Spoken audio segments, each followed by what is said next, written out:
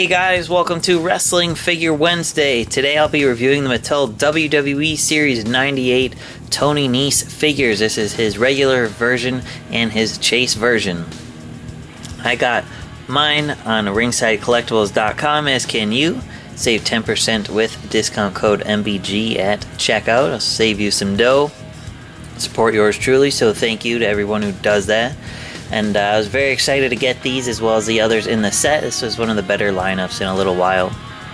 Tony looks great as it is his very first action figure, as it says first time in the line in the bottom left. And it's cool they did a chase variant. I just wish it was elite, as the cruiserweight guys, I think, should always be elite versus basic, considering how agile they are. Um, but both of these look really nice.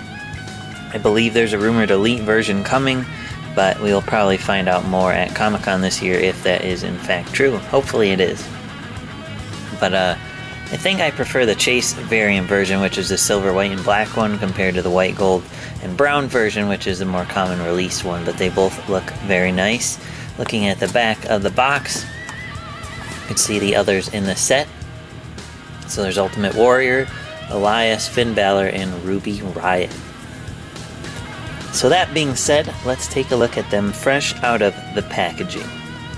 Alright guys, so here we have the basic 98 Tony Nese figures fresh out of the packaging.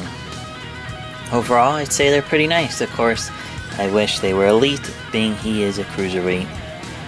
He deserves an elite figure so you could pose him, do all his crazy moves, stunts, whatever you'd like to call it, but I still am very excited to have this think he's an underrated guy. Very talented, does some really cool moves and stuff. So like I said, if you want a figure of him, I don't know if uh, he will have an elite. I would hope he does, but you never know with Mattel, so you can get a basic in the meantime. But anyway, let's take a look at his regular release first. So here is his head scan for his very first figure. I think it looks just like him, honestly. Hopefully the camera will focus. There you go. So the likeness is pretty good. You can see all the detail in his hair. He's got his uh, ponytail here in the back, or bun, I guess. The bun's usually up there, but just a really thick ponytail. Looks good. His uh, head movement is restricted a bit because of his beard, but it's not very surprising. Still looks great. Got the cheesy smile on his face. Of course, they made him ripped as he is in amazing shape. The typical elbow joints, of course. Ball jointed arms. Gotta make him do his uh, muscle pose that he loves to do. But you can see all the detail in uh, his like wrist gauntlets here. They are painted on. They're not molded or anything. Looking at his trunks, see the unique designs going around on there. Little star there. And of course he has the stars on his knee pads. He does have knee joints. They're limited a little bit by the uh, thickness of the knee pad, so just be careful. Basic knees haven't been as fun to pose in a while. They're just, I don't know, posing basics in general has been rough. Some are better than others, of course. His isn't too bad, but his knees are a little restricted, unfortunately. Uh, but then lastly, looking at his kick pads, you can see similar designs. It says Nese down this boot here. No ankle joints, of course, but you can see all the detail in his kick pads, which is really nice.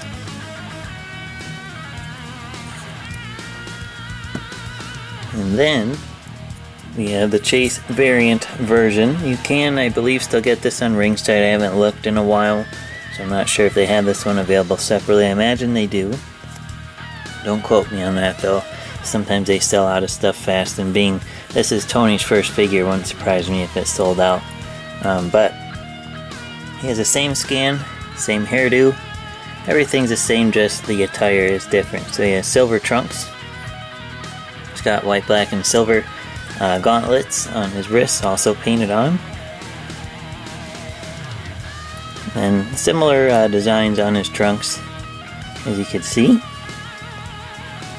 And this one has tall black knee pads with silver stars. It does restrict the movement, again, as you can see. So just be careful. It doesn't give him a wide range of motion. Which is why I think they don't do justice to him uh, as a basic versus an elite. But Still cool for display, of course. And then, uh, yeah. See the details on his uh, kick pads. Hopefully, not sure it's too bright if the camera's picking up. There you go. It says Nese down this kick pad here, and then the other designs here. And the rest of the kick pads are all black. So yeah, that is Tony Nese's very first figures. Like I said, I hope we get an Elite. But these will do in the meantime, of course. You could get it on ringsidecollectibles.com. Save 10% with discount code MBG at checkout. Support yours truly. Thanks for watching, and I'll see you soon. Thanks.